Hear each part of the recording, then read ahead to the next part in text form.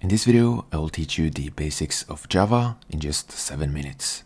You will learn how to print text, how to use if statements, for loops, while loops, and then how to input data into the program. Since this is a beginner tutorial, I'm going to use an online Java compiler so that we don't have to install anything. Okay, so first we need to declare both the class and the method. And they're both going to be of the public type so that they're visible to all. And then for the uh, method, we're going to use the main method, which is the starting point of the program.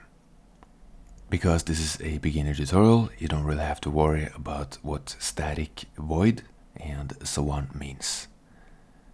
And then inside the curly brackets, we're then going to add the print statement, which you get by typing in system.out.println and then inside the parentheses, hello world. Okay, and then we can execute the program after adding the semicolon. And in the result output, you can see the hello world print. Next, we can take a look at the if statement, which is very important when uh, programming. And the if statement is used to specify a block of code to be executed if the if condition is true. So uh, let's uh, declare a variable with the temperature equals to 19 and if the temperature is above 30 degrees we're going to print the text. It's hot today. And then at the end of the line make sure to add a semicolon so that the program runs properly and when we execute the script there won't be any output because the if condition is false so let's increase the temperature And as you can see, we now get the it's hot today output. We can also add an else statement so that if the if condition is not met, we'll print the block of code below the else statement instead. So when we set the temperature variable to 20 degrees Celsius, you can see that we print the line of code from the else statement, which is it's not hot today. Okay, so next we can add a for loop so that you get familiar with a for loop in Java.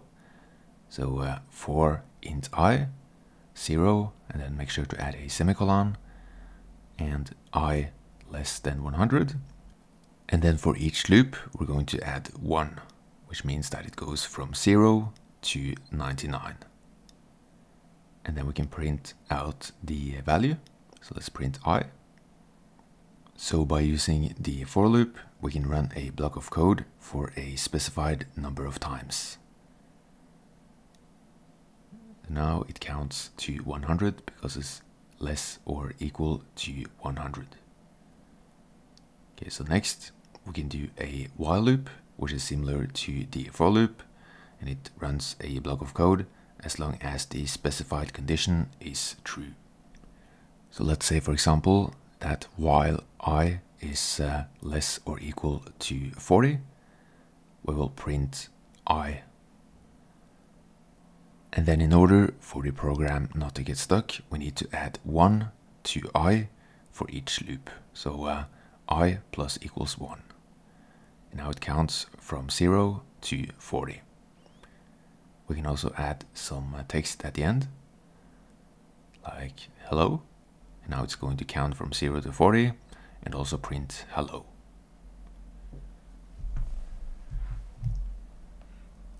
Next, we can take a look at the different data types in Java and how to convert between them. First, we have int, which is short for integer, which are whole numbers with no decimal point. We also have float, which is a number that has a decimal place. We also have char, which stores a uh, character. And then we have boolean, which stores a boolean value, which is either true or false. And we also have the uh, string type, which uh, stores text. So, uh, hello world, for example. Now, if you want to convert the int variable to a float variable, for example, we uh, just remove this uh, text and then parentheses float and then the variable you want to convert into a float variable. And then semicolon. And when we print the new variable you can see that it now has a uh, decimal place executes and now it's 2.0 instead of just 2 which it would be with the integer type. Okay and then next I'm going to show you how to input values. So first you need to import the java.utils.scanner and then you need to add the scanner to the uh, scripts. So scanner and then give the scanner a name. I'm just going to call it scanner and then new scanner and this will allow us to add the inputs I'm also going to print a uh, bit of text before we add the input so that people know what to type in. I'm just going to uh, add age and then in the next line of code people can input their age into the age variable which we will print later. Byte age and then scanner dot next byte. People can input their age and then we're going to print the age and then make sure to add a semicolon at the end, make it interactive, and then execute the code. And then we can type in our age, so just type in any number, and it's going to return the age. Then next, we can add some uh, text as well. So let's first print how old are you? And then in the uh, output, we can uh, type out UR plus age plus years old. So that when we run the scripts, we can type in our age and it's going to return UR X years old.